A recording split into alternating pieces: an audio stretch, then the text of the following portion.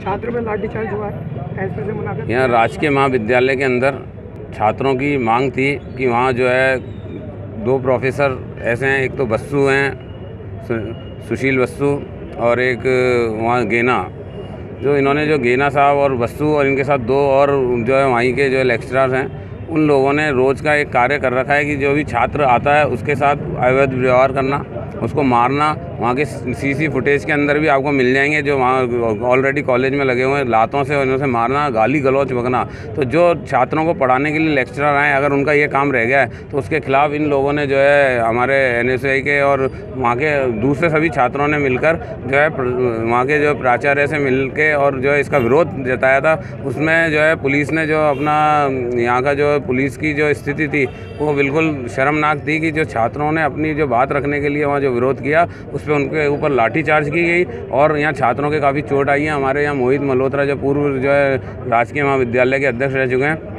N S के अध्यक्ष रह चुके हैं। उनके भी काफ़ी यहाँ जो है, कमर पे और इधर जो है, डंडे के निशान नील आ रखी है। तो मैं, अभी हम यहाँ पुलिस अधीक्षक महोदय से मिले हैं और आईपीएस मोनिका मैम भी यहाँ थी, जो कि वहाँ मौके पे मौजूद भी थी। और हमारे कुछ लोगों को जो है, क्लाक टावर के अंदर जो है, यहाँ ज़बरदस्ती डाल दिया गया है। तो उनके लिए हमने भी मांग की है कि भी उनको तुरंत प्रभाव से छोड़ा जाए और जो दोषी पुलिसकर्मी हैं, उनके खिलाफ जो है कार्रवाई की जाए। क्योंकि जिस तरह छात्रों को उनके आंदोलन कुचलने के लिए पुलिस यहाँ आए दिन जो है लाठी चार्ज कर रही है, पानी मांगने जाओ तो लाठी चार्ज बिजली मांगो तो लाठीचार्ज, किसान अपना हक मांगे तो लाठीचार्ज। तो इस तरह की सरकार के अंदर जो है, एक लाठीचार्ज ही इनके पास एक ऐसा हथियार रह गया। आज रोज़गार मांग रहे हैं तो लाठीचार्ज दे रहे हैं। आज जो है, हम किस, अपने हक को कैसे मांगे? डेमोक्रेसी ख़त्म कर दी है सरकार ने और जो है, पुलिस प्रशासन ने अगर भारतीय जनता पार्टी के दबाव में ऐसा काम किया है तो उसका हम पुरजोर विरोध करते हैं कि पुलिस प्रशासन तुरंत प्रभाव से जो है आगे रणनीति अभी छात्रों के की मीटिंग होगी, छात्रों का मैटर था, ये मेरे पास जिला कांग्रेस कमेटी कार्यालय आए थे, और वहाँ से मैं इनके साथ आया हूँ, इनकी पूरी जो है जानकारी ली मैंने,